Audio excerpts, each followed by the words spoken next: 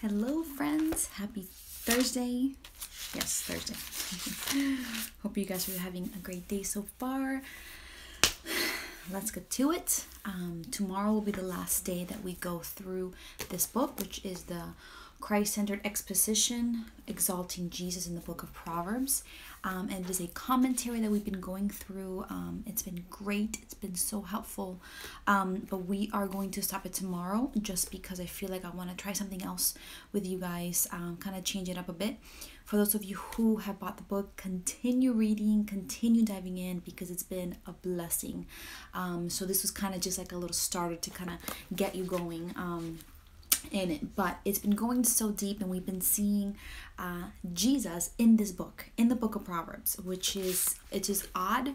I've read the book several times and um, i know that jesus is the main hero in the whole you know bible from Genesis all the way to Revelation, but it's been so curious to see how it is that he is shown in each book.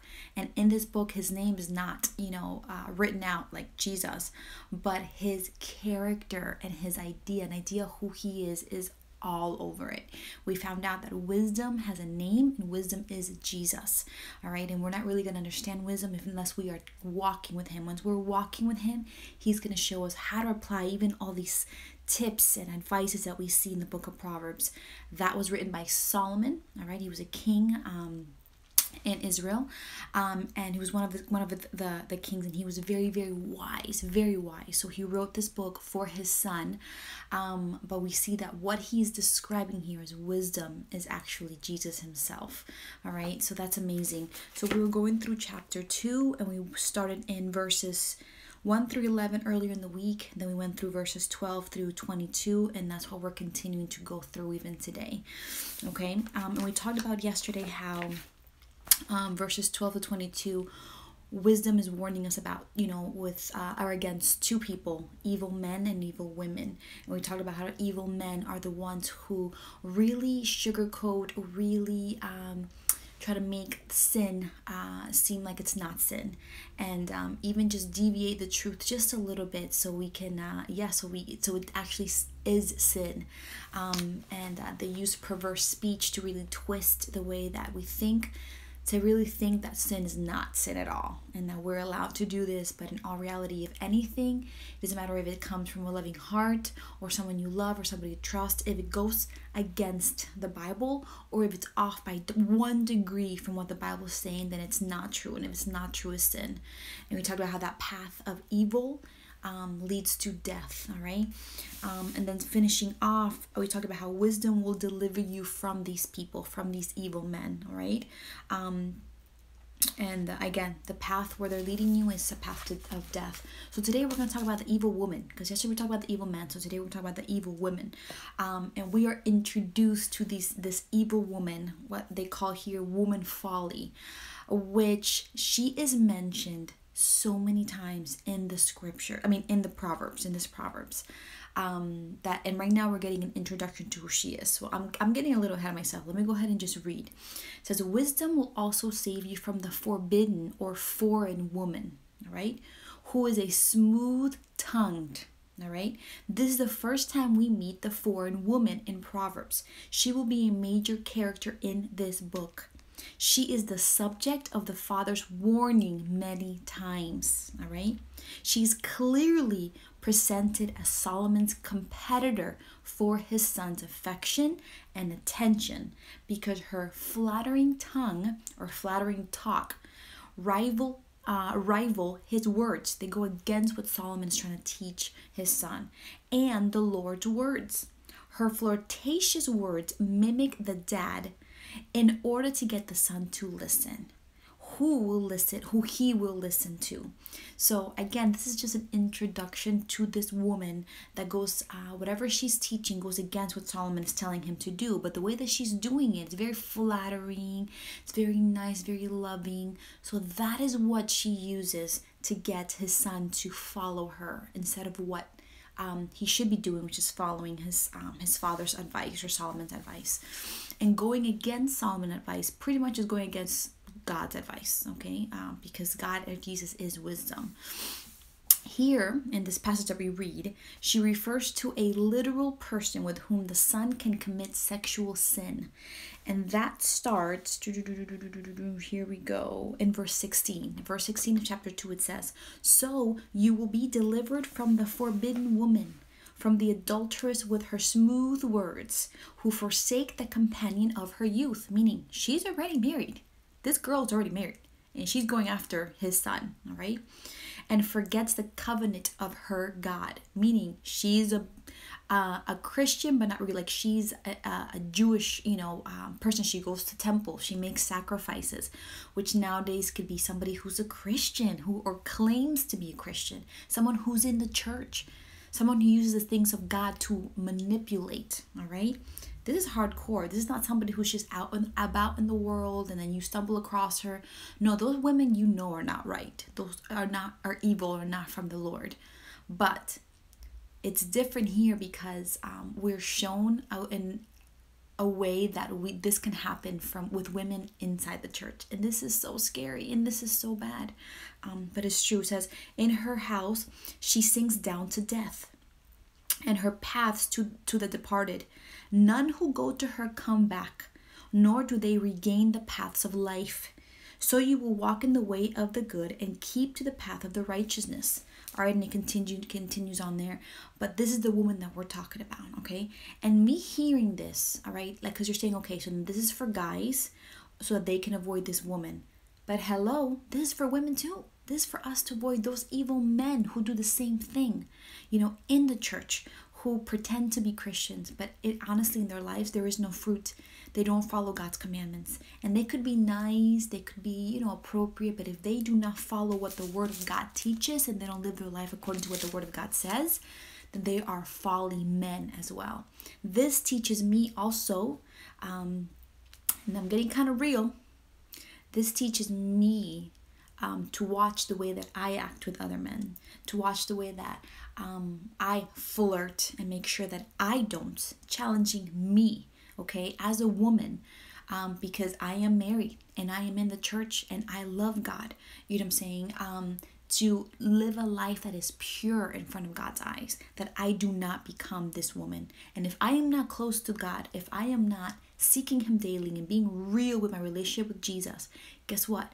I am one dumb mistake away from being this woman because honestly it could happen to anybody.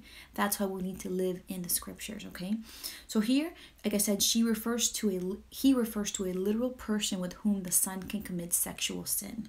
But later she will be uh, personified as woman folly. The rival to woman wisdom okay? Folly will be described in the same way as this woman. They're both flatterers who lure their prey to death. So, with flattery, with like, you know, joking around, silly, you know, uh, gracious talks, they can lead their victims to death. All right. Um, if the son begins an affair with this forbidden woman, it will reveal that he has rejected his father, wisdom, and the Lord. So if he enters into this relationship, or one of us enter into this relationship, or we have become this woman, all right, we have rejected wisdom, which means we have rejected Jesus, the Father, um, and uh, and the Lord Himself, embracing the human uh, forbidden woman by means. Oh, wait, hold on yeah. Embracing the human forbidden woman by by means of sexual sin reveals that spiritually he is in a relationship with woman folly instead of wisdom. So if he uh, enters into this relationship it already means that he is avoiding or rejecting wisdom uh, the um, woman wisdom that we're supposed to be um, targeting to okay? This is not a shocking this is not shocking since sexual sin and spiritual sin are tied together through the Bible. Already in Proverbs 132, rejecting wisdom is describing with the same word as unfaithful to the Lord in the prophets, right? Adultery is a distortion of the most intimate human relationship. And 1 Corinthians 6 reveals that it is also a distortion of the most intimate spiritual relationship, which is the relationship between a man and a woman, okay? I remember growing up and um it is so true like everywhere I went, you know, as a youth in the church, um, they would describe sex as something like you need to stay away from it. This is not something good. Avoid it. Flee from it. You know what I'm saying? Um, it it was almost even described as something that was just so bad that we only did it when we got married. And I'm like, you know what I'm saying? Like that's not you know that's not a proper way of describing it. Like yes, we have to avoid sexual um, sin and and uh, and anything that has to do with that. Um, but we forget that this is so pure. Like this is something that God created for a man and a woman, um, limited to the marriage bed. Okay, um, and this is something that we can rejoice in and we can um, really enjoy it in those parameters and in those limitations, right? Um, but I feel like we're just all the time by by bombarded by bombarded by that, and we don't really say, "Hey, this is something beautiful."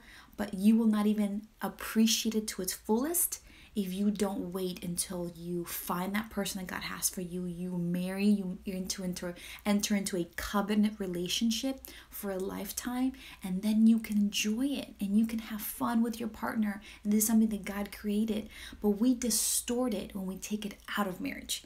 And that is what sexual sin is. It's like a spiritual um, violation because it is not what god intended and the spiritual connection between me and my husband is supposed to mirror the relationship between jesus as husband and us his body as his bride so it is so deep and it's so important for us to just cling to jesus so we don't fall into this sexual um, um, temptation, okay? Let's see, continuing on. The whole point of Proverbs 1 through 9 is that if our horizontal relationships are off, meaning my relationship with my brothers and sisters, all right, our vertical relationship um, are wrong as well. All right. So my if my relationship with my brothers and sisters is off, it's probably because my relationship with God is off. That comes first. I need to make sure my relationship, vertical relationship, is where it's supposed to be, and then my my relationship's horizontal relationship with my with my brothers and sisters will be restored. Um, let's see what else. Solomon knows this full and well because he fell for forbidden foreign women who led him to idolatry and destroyed his dynasty. Falling from the forbidden woman will reveal that the son is being led away from the Lord or wisdom and is instead embracing folly. Now, this is something that he's warning his son about. Solomon is warning his son about because it happened to him um i remember growing up and like learning that like solomon yes he was the wisest man in the world and he had like all these riches but then he had like so many wives and concubines. I don't even know what a concubine is. I just know he had hundreds of them. Like i don't know girlfriends mistresses but like everybody knew. Um but he had like hundreds of wives. Like what is that? So that is something he fell into because the Bible is clear the marriage is between one man and one woman. And he had so many wives and so many concubines. So he is literally um, warning his son about it.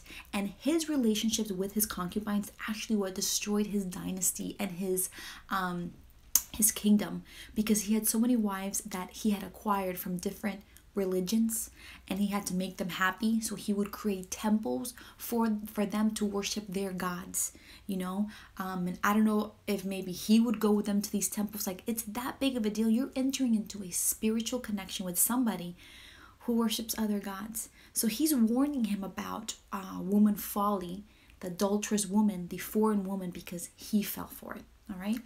Um so that's about it about it for today tomorrow is Friday. Tomorrow we'll finish up this chapter and finish talking about, you know, woman folly and the adulterous woman and the conclusion. And again, like ladies who are listening to this, like we hear this and we're like, oh, that's not for me, you know, I'm adulterous woman. But let's read into this and let's see different ways that we can sometimes act like that. And he'll go into detail about that later. Like talking to men how we are supposed to treat our brothers and sisters in Christ. You know, um, having conversations. And for example, like with my husband, I try for him to know when I'm having conversation with people, with other men that are not him, or that it's not my dad or my brothers, um, he knows about it. He needs to know about it. Hey, listen. By the way, yeah, I talked to this guy and blah blah blah blah. Um, and sometimes if it's if it's somebody that's uh, I'm not sure about, um, and I have to send them a text or something, I make sure I include my husband into it so he's aware, um, or I let them know, hey, listen, read my text, or hey, this is what happened. Um, I try, I try to do that, not just to say, oh, I'm perfect. No, but to watch myself too, and to watch my heart, and to watch my intentions. Um, because just like we see there that the woman, the adulterous woman, got to his son through flattery and through talking, that's how things start. And we need to be very careful in how you know we as women treat other men and other our brothers and sisters our brothers in christ and how our brothers in christ treat their sisters in christ. Um, but we'll talk more about that tomorrow. Anyways so that's about it for today guys. Thank you so much for tuning in for those of you who have. Um, don't forget to accept prayer requests. So let me know if you want me to add you to, to my prayer list or a prayer list that we have that we pray for every time that we pray with as our family we come together. And that's about it. So have an amazing thursday and i will see you guys tomorrow. Bye